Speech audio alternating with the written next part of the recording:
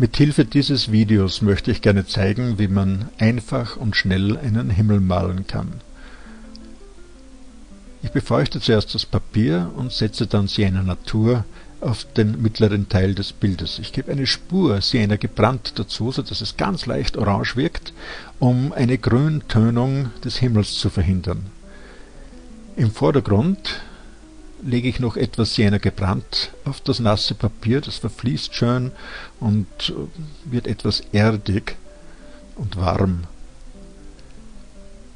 Aus Kobaltblau dunkel und viel Wasser mische ich mir genügend Farbe und tropfe die mehr oder weniger mit dem breiten Pinsel oben in das nasse Bild hinein. Sie sehen, das verfließt ganz leicht, weil ja das Papier noch ausreichend nass ist. Ich ziehe die Farbe nach unten, lasse etwas Weiß frei für imaginäre Wolken und ziehe so die Farbe, ohne noch einmal neu einzutauchen, nach unten. Es wird immer heller dann. Hier noch eine etwas dunklere Wolke, da gebe ich etwas Braun dazu. Ja, und der Himmel ist eigentlich schon fertig. Jetzt setze ich mit einigen wenigen Pinselstrichen noch eine leichte Landschaft auf das Papier. Dazu mische ich mir einen stumpfen Grünton. Dazu verwende ich das Talogrün oder auch Heliogrün mit etwas Sienna gebrannt.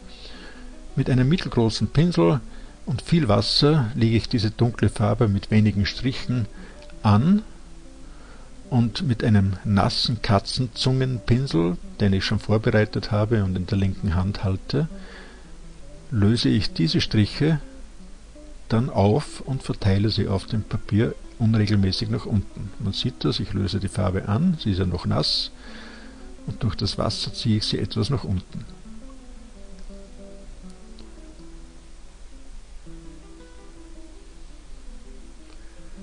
Ich mache ganz bewusst eine ganz einfache Vordergrundlandschaft mit wenigen Strichen zum Vordergrund hin, also weiter nach vorne hin, kommt noch etwas Sienna gebrannt dazu, das sich wiederum mit dem Grünton und mit dem Wasser sehr weich vermischt und einige Blautöne ganz dunkel, zum Beispiel hier links oder auch weiter vorne noch, setze ich dazu, dass es wieder kobaltblau dunkel.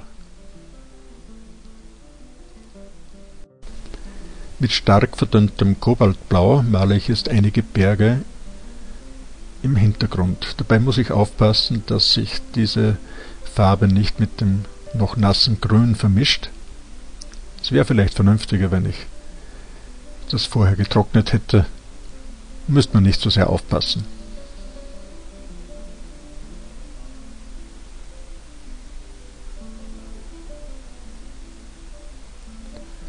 Wichtig dabei ist, dass diese Berge ganz schwach und sehr hell werden.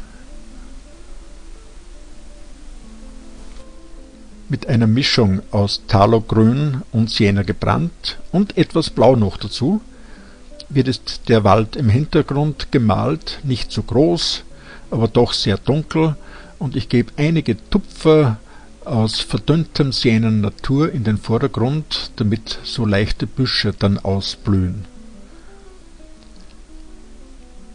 Sieht ganz interessant aus. Mit der gleichen Grünmischung, nur etwas heller und mit ein wenig mehr Gelb, male ich jetzt das Blattwerk eines Baumes auf der rechten Seite in Granuliertechnik. Das heißt, ich lege den Pinsel fast flach aufs Papier und male nur mit dem Pinselbauch, so dass eine sehr unebene Struktur entsteht.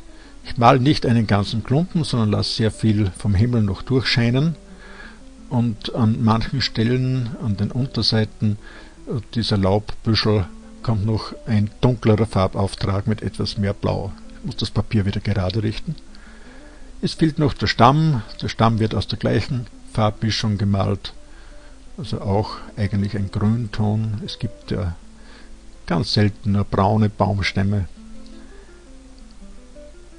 Stamm, dort wo ich freie Stellen habe im Laufwerk, da kommen einige Äste und kleine Zweige dazu, aber ich möchte mich nicht mit Details aufhalten, sondern nur einen ganz schnellen Baum andeuten.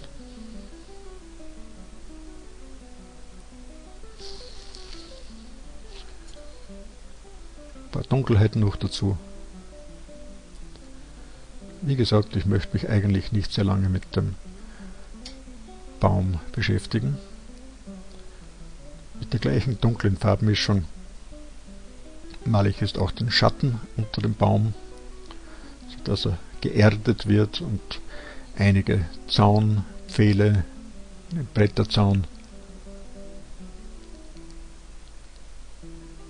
ist dekorativ, verbindet etwas.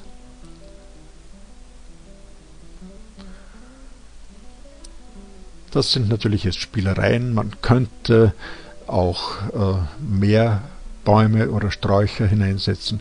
Aber ich wollte nur den Himmel nicht ganz alleine lassen. Auf der linken Seite kommt auch noch ein Zaun her. Der passt es da einfach dazu.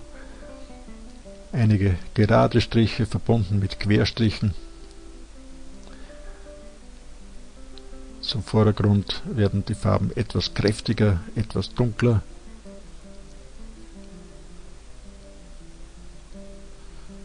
Ja.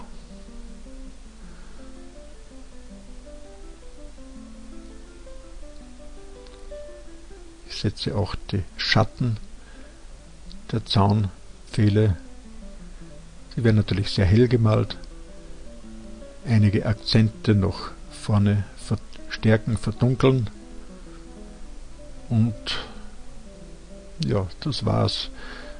Selbstverständlich könnten wir jetzt noch mit einem feinen Pinsel nach dem Trocknen noch mehr Details einfügen. Ich finde aber, das ist gerade bei einem Aquarell nicht immer notwendig und für so eine Übung schon gar nicht notwendig. Viel Spaß beim Nachmalen!